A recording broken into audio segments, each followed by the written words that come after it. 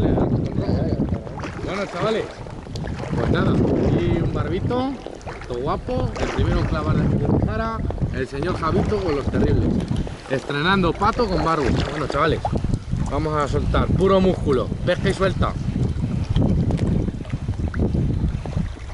El primero. Oh yeah, baby.